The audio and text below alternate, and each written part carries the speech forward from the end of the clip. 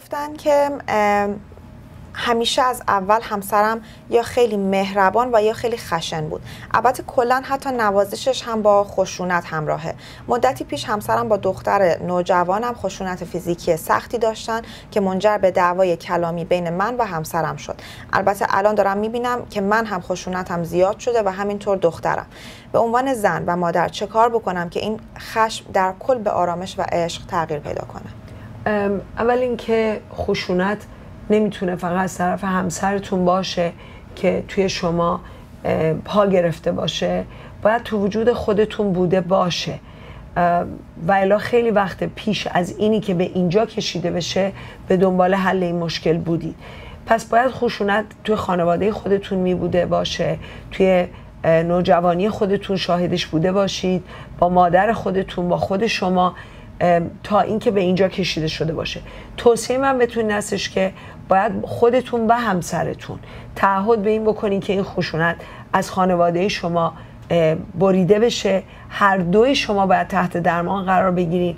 برید و کودکی خودتون نوجوانی خودتون رابطتون با والدینتون اتفاقایی که تو کودکی و نوجوانیتون افتاده بلاهایی که سرتون اومده همه اینها رو باید برید پیش یک روانشناس و حلشون بکنید توصیه من اینه که اگر امکان پذیر هستش خودتون همسرتون توی کارگاه های ما شرکت بکنید همینطور فرزندتون تو کارگاه نوجوانان ثبت نام بشن و بیان. و همین الان هم این تخفیف ویژه‌ای رو که داریم ازش استفاده بکنید ولی اگه دسترسی نداریم و واقعا غیر ممکنه و نمی‌تونید که بیای باید هر دوتای شما به طور جداگانه برید تحت درمان قرار بگیرید. فرزندتون همینطور باید تحت درمان قرار بگیرن. تحت هیچ شرایطی دارو رو نپذیرید. باید یه کسی به شما کمک بکنه که آدم هایی رو که توی زندگیتون هستن که از دستشون عصبانی هستین خشونت کردن بتونید اونها رو باهاشون روبرو بشید بگید دردتون رو بهشون باهاشون شفاف بشید ازشون بخشش بخواید به خاطر عصبانیتتون از دستشون ناراحتیتون رنجشتون همینطور اونها رو ببخشید و با همسرتون هم همینطور. خشم و عصبانیت و ناراحتی و رنجشتون رو به ایشون بتونید بگید. همینطور خودتون مسئولیت قبول بکنید. برای نوع رفتار خودتون که شاید این خشونت رو توی رابطه آوردین بتونید از ایشون بخشش بخواید. ایشون بتونن از شما بخشش بخواید رویه جدیدی برای برخورد با هم دیگه پیدا بکنید که اگر یه کسی عصبانی شد حاضر نباشه که خشم و عصبانیت رو بهش دامن بده بلکه کناری بره خودش رو آروم بکنه بعدم بیاد. نحوه صحبت کردن مسئولانه رو یاد بگیرید. یاد بگیرید که ابراز می‌تونه از کلمه من شروع بشه. من عصبانی هستم من ناراحت هستم من مسئولیت قبول می‌کنم. این فکر منه این دیدگاه منه این تجربه منه.